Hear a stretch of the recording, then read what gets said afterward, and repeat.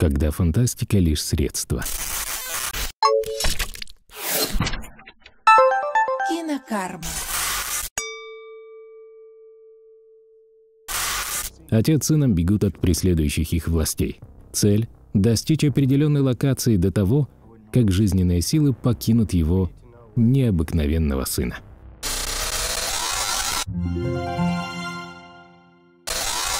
Несмотря на жанр фантастики, экшена, триллера, фильм «Специальный полуночный выпуск» выходит за рамки названных жанров своей основной идеей. И это его главный плюс.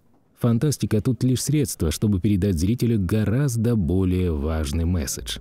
Подобным качеством обладали книги Рэя Брэдбери. Впрочем, тот зритель, который упустит саму суть фильма, не останется разочарованным. Бесподобная драматургия. Выразительные актеры и небанальные персонажи заставят забыть обо всем остальном до самых финальных титров.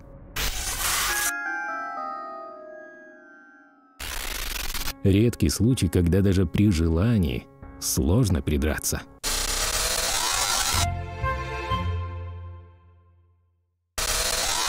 Режиссер Джефф Николс вообще одаренный парниша.